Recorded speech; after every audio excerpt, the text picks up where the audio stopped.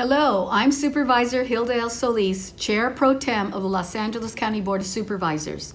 I want to share an exciting program benefiting youth in Los Angeles County's foster care system. Even before the pandemic, many current and former foster youth nationwide lacked access to cell phones, laptops, and other digital devices.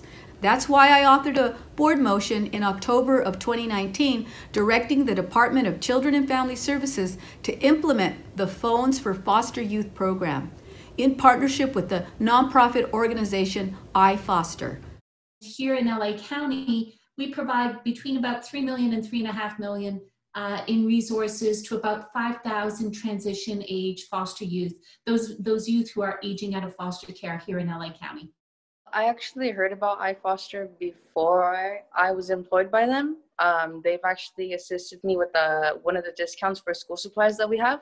And that definitely did assist me into my transition from high school to college. It definitely did take the expenditure off my off my um, wallet, and um, it definitely helped me be able to take notes and go to school.